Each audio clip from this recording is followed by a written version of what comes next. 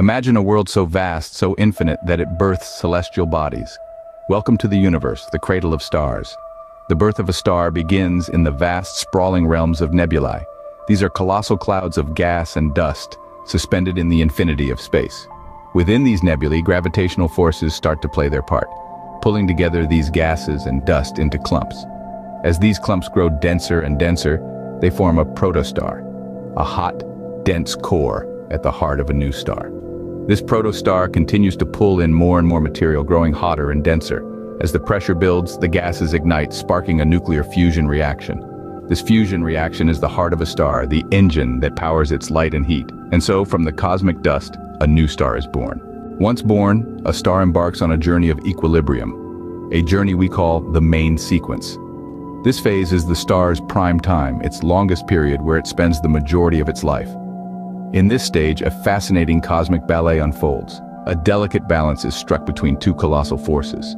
On one hand, we have the relentless gravitational forces, constantly pulling everything inward, trying to crush the star under its own weight. On the other hand, we have the power of nuclear fusion, a process occurring in the star's core which pushes outward against gravity's pull. This nuclear fusion is not just a simple pushback against gravity. It's a celestial forge where hydrogen, the lightest and most abundant element in the universe, is transformed into helium, the second lightest. This transformation isn't without consequence, though. Energy is released in this process, a tremendous amount of energy. And this energy is what we see. It travels across the vast cosmos, reaching our planet as the light we see twinkling in the night sky. Each twinkle is a testament to the nuclear fusion happening millions and billions of kilometers away.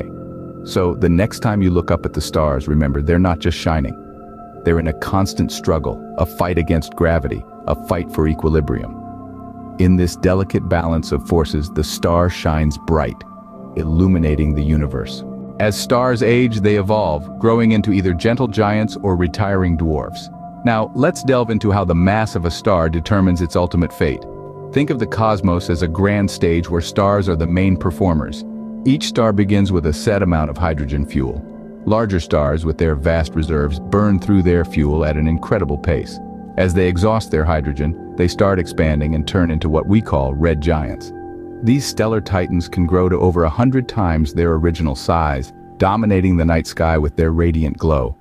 Now let's consider the smaller stars. These stars are more conservative with their fuel. They burn their hydrogen slowly, extending their lifetime significantly. As they age, they don't expand like their larger counterparts. Instead, they cool down and become red dwarfs. These retiring stars can continue to glow, albeit faintly, for billions of years, like cosmic embers in the vast fireplace of the universe. So, whether a star becomes a giant or a dwarf depends largely on its initial mass. This cosmic transformation from a young star to a red giant or a red dwarf is a fascinating spectacle of nature. It's a testament to the ever-changing, dynamic nature of our universe. Whether a giant or a dwarf, every star must face the inevitability of change. And with that thought, We'll move on to the grand finale of a star's life cycle in our next scene. Every story has an end, and so does the life of a star. But fear not, for the end is but a spectacular beginning. Just as we have the final act in a play, stars too have their grand finale.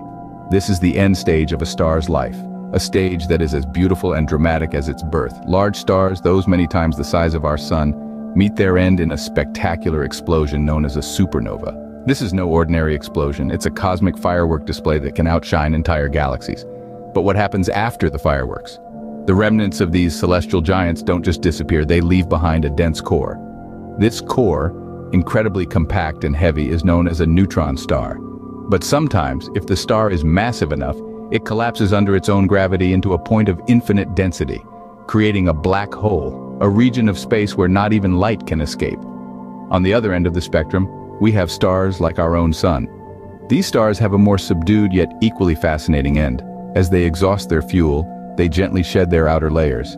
This celestial shedding leaves behind a white dwarf, a dense, hot core that cools over billions of years. The outer layers, meanwhile, drift away, creating beautiful nebulae that may one day form the building blocks of new stars. From birth to death, the life of a star is a cosmic ballet of change and renewal a testament to the endless cycle of the universe. Each star, whether it ends as a supernova, a neutron star, a black hole, or a white dwarf, contributes to the cosmic recycling process.